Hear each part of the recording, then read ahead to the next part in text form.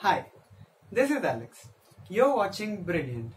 In this video, I'm going to talk about the rainbows. I know that all of you have looked at the rainbow, but you probably haven't seen it.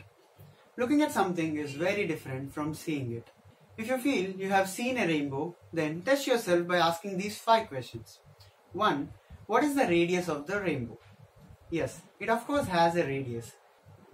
Well, when you look at the rainbow, it looks like an arc in the sky, which is obviously a part of the circle. That means it should have a radius. Now, I don't want the radius in terms of the length. I want the radius in terms of the angle. Second question. What is the color sequence of the rainbow? Is it red outside or inside? Or will it depend upon the time you watch?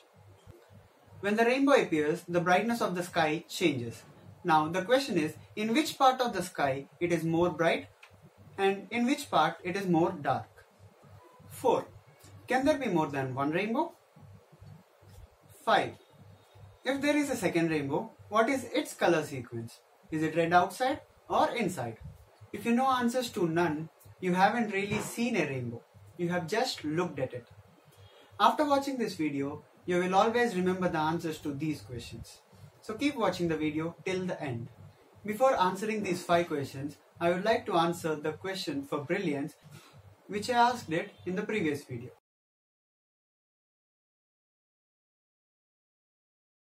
When the earth stops rotating, the value of g changes. But it doesn't change evenly at every point on earth. At poles, the value of g doesn't change at all. And at equator, the value of g is increased by 0.34%. It is due to the fact that the centrifugal force becomes zero when the earth stops spinning. So there is no change in weight at poles, but at equator the weight is increased by 0.34%. Thus, if a person's weight is 60 kgs, then his weight at equator would be 60.25 kgs if the earth stops rotating. Now let's get into the journey of rainbow. First things first, there are two necessary conditions to witness a rainbow. One, there must be a white light hitting the water directly. And two, you must be in between the light source and the water. Now let's see how a rainbow is formed. Here is the water drop and assume it to be spherical. And assume some narrow beams of light striking the raindrop in this direction. Let one ray hits the drop at an angle of incidence I and it bends while entering the drop with an angle of refraction r. It follows a rule called Snell's law while bending which I am not going to discuss it right now, just take it as granted. Now when the light hits the inner surface of the drop, some of the light gets reflected. And when the light comes out of the drop, the light again bends following the same Snell's law and emerges out. Now let d be the angle between the initial direction of the light and the emergent light. The maximum angle for d for red light is about 42 degrees and that for blue light is 40 degrees. So when a white light enters the drop, it actually splits into various colors starting from red to blue. Now, this image can be rotated 360 degrees with this line as axile. So, when a white light hits the water drop, you'll get a cone of light. When you place a screen, what you'll see is this.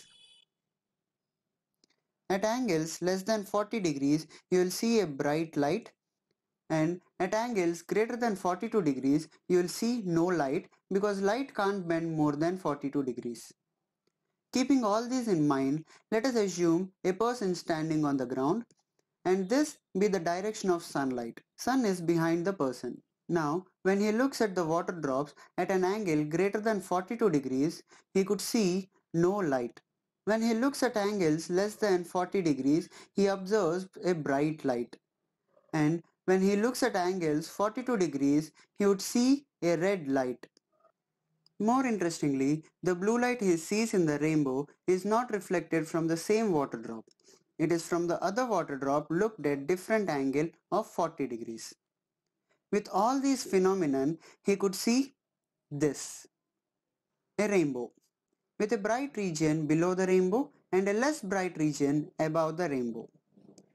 Extending this with two reflections inside the water drop, we can get a second rainbow whose colors are inverted compared to the first one and it is less intense. And the brightness level is highest in the lower region and lowest in the middle region. The radius of the rainbow is about 40 to 42 degrees. The red color is on the top of the rainbow and the color sequence is red, orange, yellow, green, blue, indigo and violet. It is always more bright below the rainbow and less bright above the rainbow. It is possible to have a second rainbow and the color sequence is inverted for the secondary rainbow. Before ending the video, I have a question for brilliants. Is the light from the rainbow polarized? Answer it in the comment section if you are a brilliant. Thanks for watching.